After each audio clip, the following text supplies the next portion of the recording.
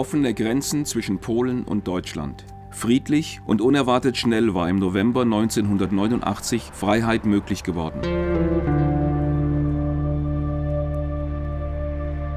20 Jahre danach kommen Christen in Tschechien, Ungarn, Polen und Ostdeutschland zu Wort.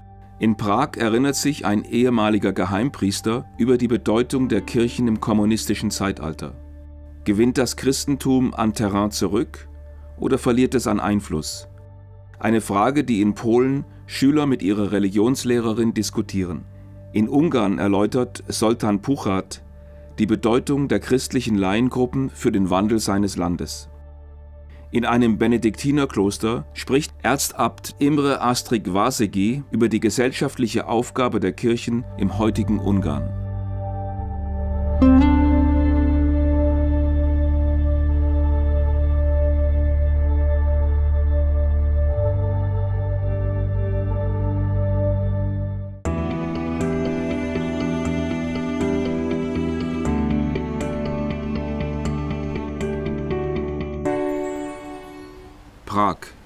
Kaum eine osteuropäische Metropole, hat sich in den letzten 20 Jahren so stark verändert. Tradition und Kirche auf der einen Seite, Kommerz und Konsum auf der anderen. Die neue kapitalistische Gesellschaftsordnung prägt das Straßenbild. Nur etwa ein Drittel der Tschechen gehören noch einer Kirche an. Das Land ist atheistisch geprägt. Einen ganz anderen Weg ging vor 20 Jahren dagegen Schwester Wojtiecha. Sie erlebte die samtene Revolution als Physikstudentin in Prag. In Freiheit schmiss sie ihr Studium hin und wurde Franziskanerin. Wir Studenten waren alle zusammen in diesem Gebäude.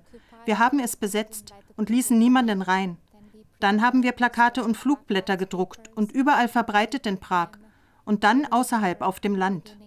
Am Anfang hatten wir sicher Angst, denn beim Verteilen der Flugblätter musste man anfangs vorsichtig sein. Sonst hatte man plötzlich einen Unfall, verursacht durch die Polizei. Davor hatten wir Angst. Aber wir hatten auch einen großen Enthusiasmus und waren jung und stark. Ausgelöst wurde die samtene Revolution nicht zuletzt durch die Ereignisse am 17. November 1989. In der Prager Nationalstraße Narodny ging die Polizei mit brutaler Härte gegen eine friedliche Studentendemonstration vor.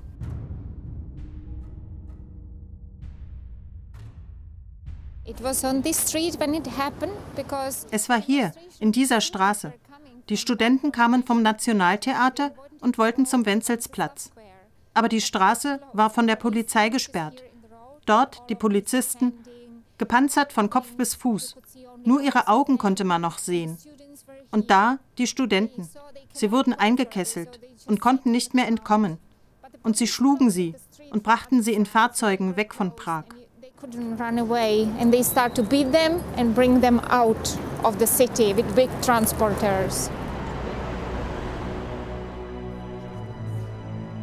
An den 17. November 1989 erinnert heute ein Denkmal. Die Revolution ging jedoch weiter. Schon bald versammelten sich die Massen wenige Straßen weiter auf dem Wenzelsplatz. Es folgten Großdemonstrationen mit bis zu 750.000 Menschen.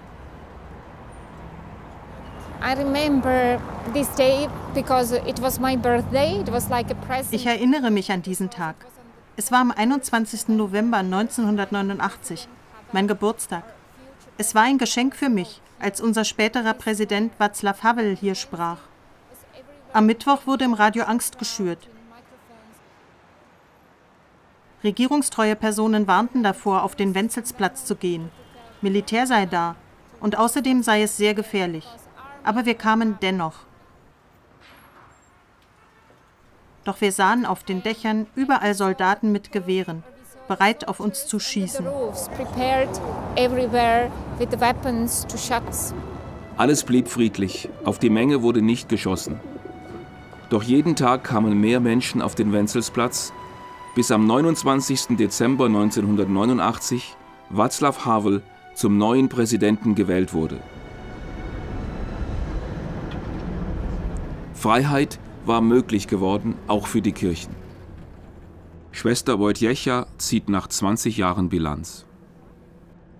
And after 20 years in freedom, we have to nach 20 Jahren in Freiheit müssen wir darüber nachdenken, wie wir den Menschen heute dienen können. Wir müssen heute die richtigen Werte anbieten, die die Menschen brauchen. Das ist eine große Aufgabe. It's a great job.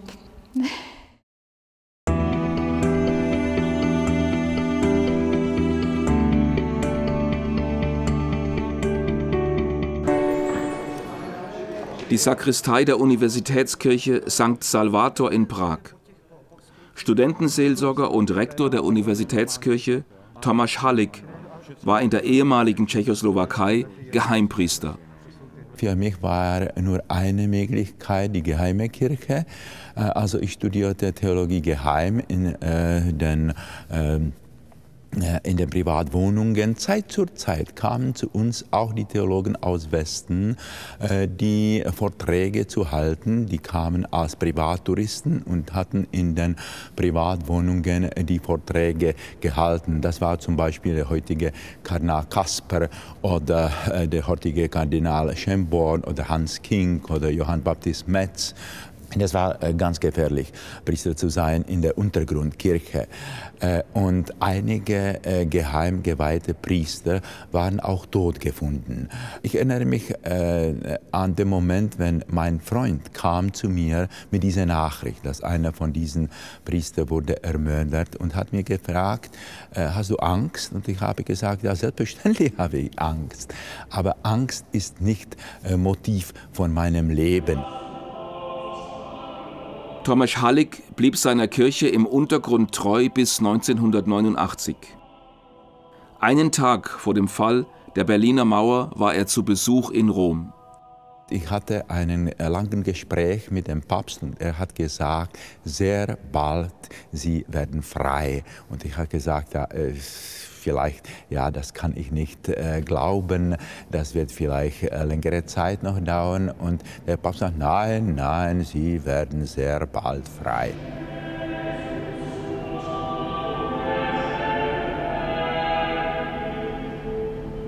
Zwanzig Jahre danach reflektiert Thomas Hallig den Weg seiner Kirche in die Freiheit. Nach der Wende war hier eine große Begeisterung und auch äh, äh, viele Sympathisanten mit der Kirche.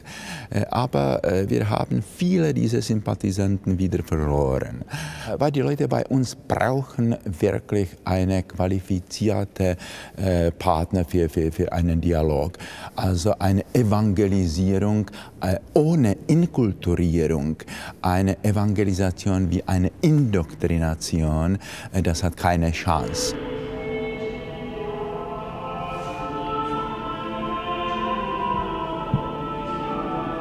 Thomas Hallicks Gottesdienste sind stets bestens besucht. Über 800 Studenten hat er in den letzten 20 Jahren getauft. Uh, Diese Kirche ist sehr bekannt unter uns Studenten, wegen der freundlichen Atmosphäre hier und dem Priester Thomas Hallig. Das war meine erste Wahl. So it was the first choice for me. Being Christian here is a little bit odd. It's not uh, a majority. Uh, Christsein ist in Tschechien out. Du gehörst nicht zur Mehrheit. Du bist die Ausnahme. Es bedeutet, gegenüber sich selber und den anderen Rechenschaft abzulegen, warum man glaubt. Dabei kann man keine simplen Antworten geben, denn die Gesellschaft hier akzeptiert solche nicht. Das bedeutet für mich, kritisch zu sein, auch gegenüber der Kirche. Deswegen komme ich gern hierher. Vor allem wegen Thomas Hallig. Uh, explanations. So that means to me uh, thinking, critical thinking also about the church, and that's also why I am here, why I, uh, I'm glad to be with uh, Thomas Hallig.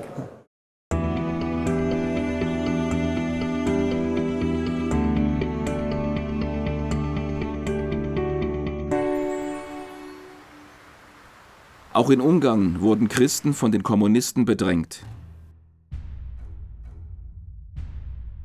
Angst und Bespitzelung waren in den 60er Jahren an der Tagesordnung.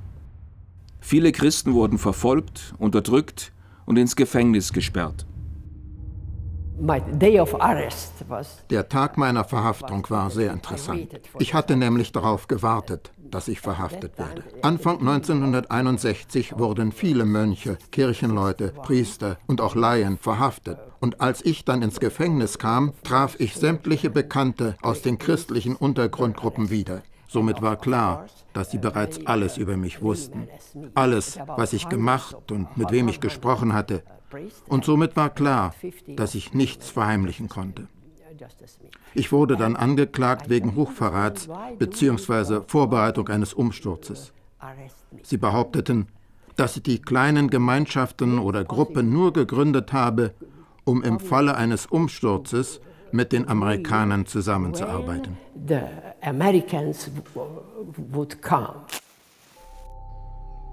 Trotz Repressionen und Verhaftungen, auch in den 70er und 80er Jahren, waren die kirchlichen Basisgruppen weiterhin von großer Bedeutung für Ungarns Christen. Sultan Puchat gründete als Jugendlicher eine solche christliche Untergrundgruppe.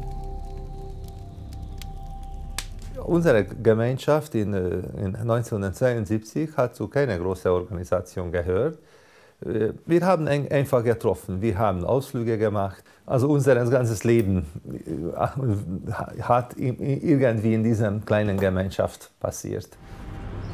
Anfang der 90er Jahre gründete Sultan Puchat Halo. Das ist ein Netzwerk von etwa 1000 christlichen Laiengemeinschaften in Ungarn und seinen Nachbarländern. Im ehemaligen Franziskanerkloster, mitten in Budapest, wird die Arbeit des Netzwerkes koordiniert. Das Leben in Freiheit stellt die christlichen Laiengruppen vor neue Herausforderungen. Was bedeutet für einen christlichen Mann die Freiheit? Also ich denke, die Freiheit von Jesus, das bedeutet es. Freiheit, also im Kapitalismus bedeutet etwas anderes. Es ist ganz einfach, äh, gegen eine Macht, eine brutalische Macht, äh, einen Kampf haben, wie die damalige Sozialismus war. Heutzutage sollen wir für uns selbst äh, entdecken, was wirklich für uns die Freiheit ist.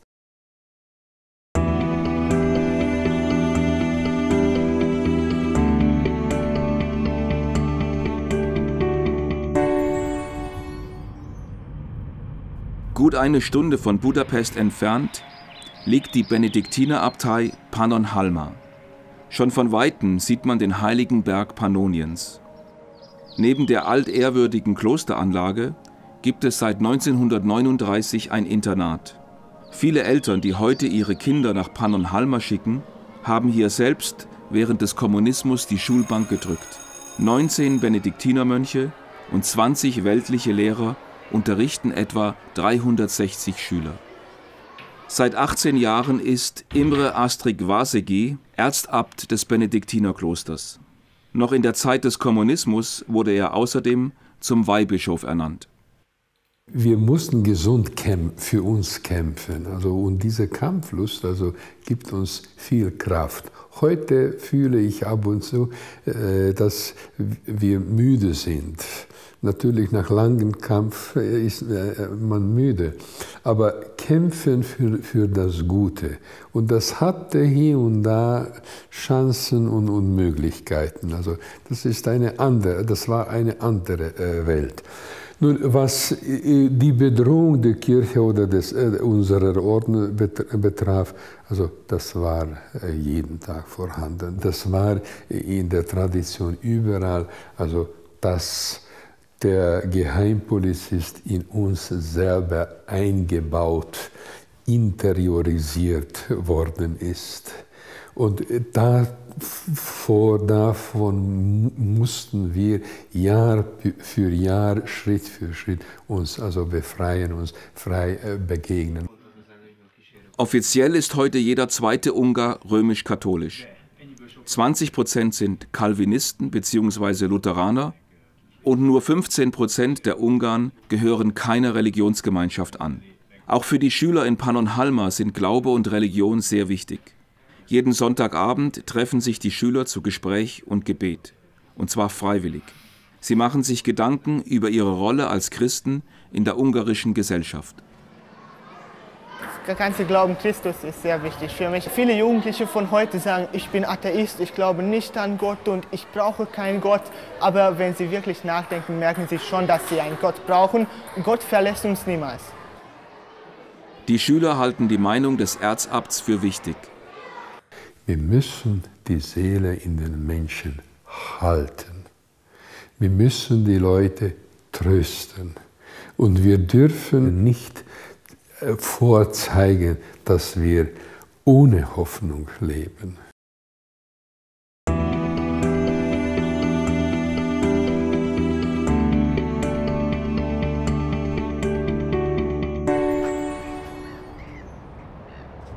Seit 1945 teilt die Neiße die Stadt Görlitz in einen deutschen und einen polnischen Teil. Im Osten liegt heute die polnische Grenzstadt Skorzelec.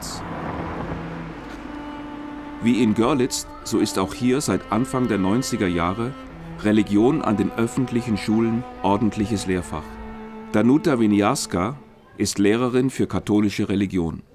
Jede Klasse von der ersten in der Grundschule bis zum Abitur äh, haben zwei Stunden Religion in der Woche. Ja, äh, anfangs vielleicht war das schwierig, es gab keine äh, Religionsbücher, das war vielleicht so mehr chaotisch, es gab keine konkreten Programme äh, zum Unterrichten. Wer nicht am Religionsunterricht teilnehmen möchte, geht in Ethik. Problem nur, noch gibt es nicht ausreichend Ethiklehrer in Polen. So viele werden aber auch nicht gebraucht. Neun von zehn polnischen Schülern nehmen teil am katholischen Religionsunterricht.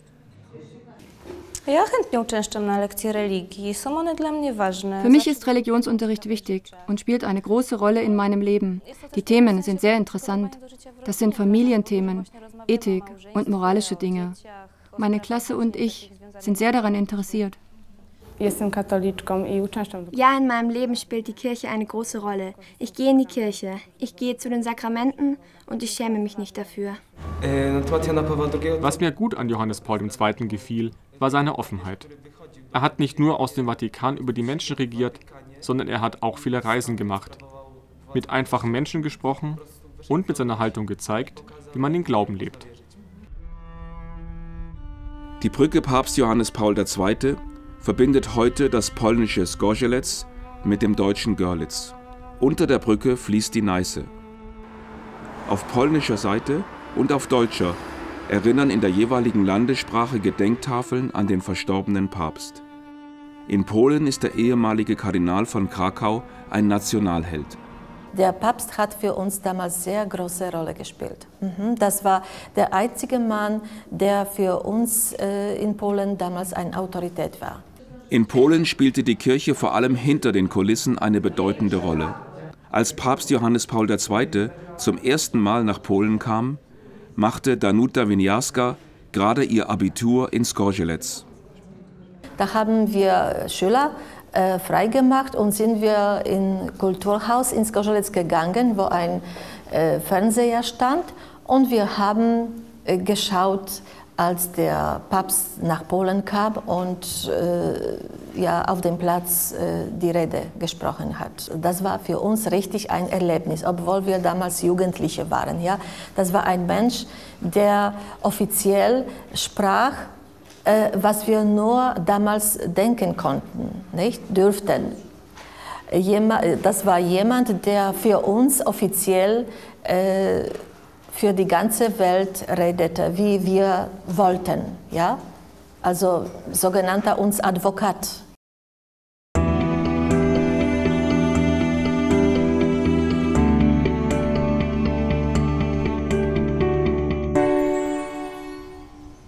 Auch im benachbarten Görlitz richteten sich die Hoffnungen auf den polnischen Papst Johannes Paul II. Der heutige Dompropst des Bistums Görlitz, Peter Birkner, hatte in den 70er Jahren den damaligen Krakauer Erzbischof Karol Wojtyła bei einem kirchlichen Geheimtreffen kennengelernt. Dass er ein Mann war, der weit über polnische Grenzen hinaus denken konnte und fühlte und auch handelte, soweit wie es ihm möglich war, das war uns bekannt. Auch der damalige Bischof von Görlitz, Bernhard Huhn setzte sich für die Freiheit der Menschen ein. Er war nicht anders eingestellt als die anderen Bischöfe hier in der DDR auch, nämlich alles tun, um möglichst viel Freiheit für die Menschen hier herauszuholen. Und alle Bischöfe waren derselben Meinung gewesen, waren immer darauf bedacht, dass sie äh, eine große Menge von Menschen hinter sich haben, die sie mit reinreißen könnten, wenn es schief geht. Es gab Situationen, in denen wir Angst hatten. Ich denke da zum Beispiel daran, dass die Diözesan-Jugendseelsorge aufgerufen hat, zu einem Gebetsgottesdienst in die Marienkirche nach Cottbus. Das ist bei den äh, Staatssicherheitsdiensten eher da gewesen als beim Bischof. Der Bischof wurde sofort äh, gerufen und da wurde gefragt, was alles passieren wird. Und dann war die Folge davon, äh, wir werden diese Veranstaltung nicht verbieten. Aber bitte denken Sie daran, sobald außerhalb der Kirche irgendeine Demonstration geschieht, sind wir in unmittelbarer Nähe und wissen nicht, wie das ausgehen könnte. Aber das System des Kommunismus wurde immer brüchiger. Der Drang nach Freiheit war nicht mehr zu halten. Im Herbst 1989 entschieden sich die Menschen gegen ein System von verordnetem Denken und Parteigehorsam. Nach der deutschen Einheit folgte allmählich ein Zusammenwachsen Europas. Als im September 2004 die Europabrücke zwischen Görlitz und Skorzelec wieder eröffnet wurde, erinnerte Papst Johannes Paul II. In einem Grußwort an die gemeinsame deutsch-polnische Geschichte. Für Peter Birkner ist die Brücke heute ein Symbol für einen ersten Schritt der Verständigung zwischen zwei Völkern in einem sich wieder vereinigenden Europa. Die Brücke ist Ausdruck dessen, was zwischen unseren Völkern passieren muss. Wir dürfen nicht gleich an Versöhnung denken. Versöhnung ist ja erst möglich, wenn auch Menschen sich einander verstehen. Wir müssen Verständigung bringen. Und Verständigung ist nur möglich, wenn wir uns begegnen. Und das kann nur über die Brücke sein. Begegnung, Verständigung, Versöhnung. Der Weg in ein geeintes Europa hat auf dieser Brücke längst begonnen. Ob in Polen, Deutschland, Tschechien oder Ungarn. Kirchen schaffen Freiräume und überwinden Grenzen, sodass Christen gemeinsam die Einheit Europas gestalten können. Der Papst hat für uns damals sehr große Rolle gespielt. Mhm, das war der einzige Mann, der für uns äh, in Polen damals eine Autorität war. Hast du Angst? Und ich habe gesagt, ja, selbstverständlich habe ich Angst. Aber Angst ist nicht äh, Motiv von meinem Leben. Wir müssen die Seele in den Menschen halten. Wir müssen die Leute trösten, nicht äh, vorzeigen, dass wir ohne Hoffnung leben. Nach 20 Jahren in Freiheit müssen wir darüber nachdenken, wie wir den Menschen heute dienen können. Wir müssen heute die richtigen Werte anbieten, die die Menschen brauchen. Das ist eine große Aufgabe. It's a great job. Was bedeutet für einen christlichen Mann die Freiheit? Also ich denke, die Freiheit von Jesus, das bedeutet es. Freiheit, also im Kapitalismus bedeutet etwas anderes. Heutzutage sollen wir entdecken, was wirklich für uns die Freiheit ist.